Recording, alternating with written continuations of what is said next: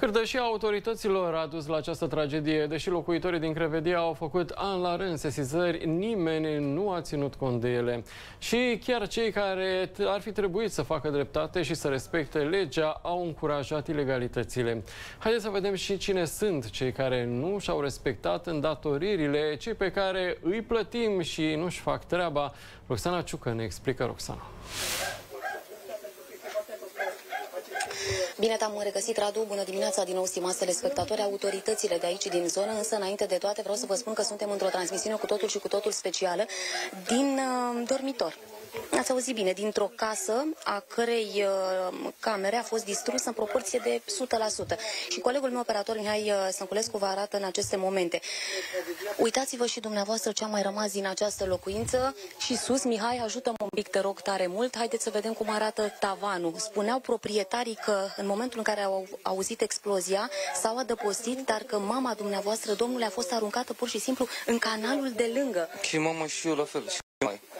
Mama are piciorul julit tot până aici. Și noi, pornul de frică, am fugit pe câmp. Am intrat în porumburi la lume. Și de acolo am ajuns pe la buftă. Bun, hai să vedem. V-a distrus tavanul, da? Da. Deci tavanul ăsta, ăsta e făcut zup. Dacă pui mâna pe el acolo, s-ar putea Poate să, să cadă ăla, da. cadă. Bun, hai să vedem jos aici. Astea sunt, ce e asta? Uh, Cum se numește? Tot. E tava un fals cu rigips. Tavanul fals cu, cu rigid, da? Bun, ușor, ușor ca să vedem, uh, să vedem. Cam la, la, la o primă estimare, așa, care vă sunt pagubele în momentul ăsta? Decât că mi-a ce pe la mine și la țără mi-a crăpat și ei, dar nu rău de tot.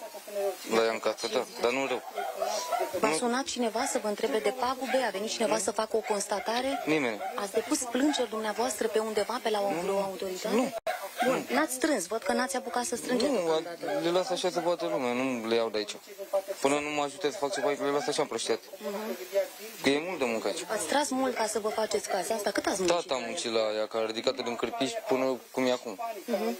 Bun, deci cam așa arată, stimați telespectatori, sunt imaginile uh, dezastrului, vedeți și dumneavoastră în aceste momente în imagini. Vreau să ies în aceste clipe din, uh, din această încăpere. Mihai, hai să încercăm cumva, te rog tare mult să ieșim de aici, pentru că vreau să mergem în cealaltă este și mama uh, domnului. Noi suntem în casă acum, o să ieșim cu greu.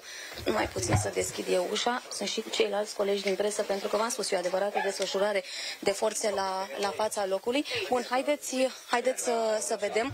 Este, este, este doamna care spune, doamnă, arătați-ne, vă rugăm tare frumos, ce ați făcut la picior. Mihai, hai să vedem un pic. Ați fost aruncată, explicați-ne un pic, doamnă. Am fost aruncată de suflu. Eram mai așa de poartă, un pic mai așa. Și a venit suflu și când m-a luat m-a aruncat în canal. Doamne ferește. Și uh, căldura care a fost, te ardea așa. Căutam să ieșesc, mi-a sărit ochelarii de la ochi. Caute, unde să-i mai găsesc? Asta acolo, Dumnezeu ce o vrea cu mila, cu mine.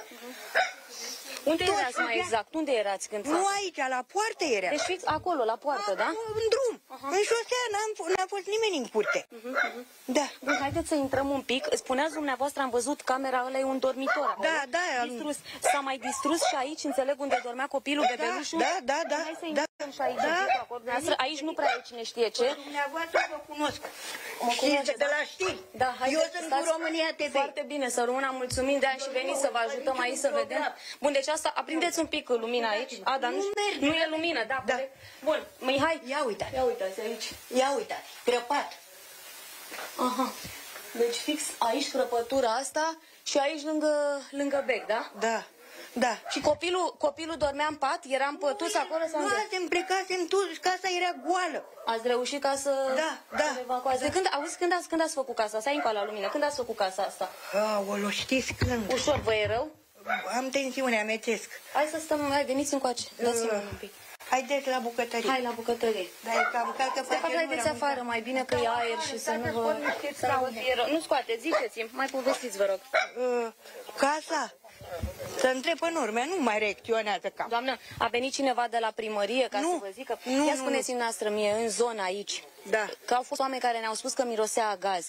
La dumneavoastră a venit vreodată miros de gaz? Mirosea, nu mereu, dar venea. Venea, venea, nu? venea. Deci venea miros de da, gaz. da.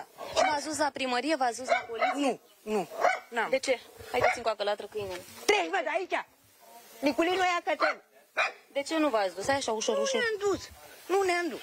Uite, nu ne-am lăsat zi după zi, zi după zi, lasă că ne ducem, lasă că facem.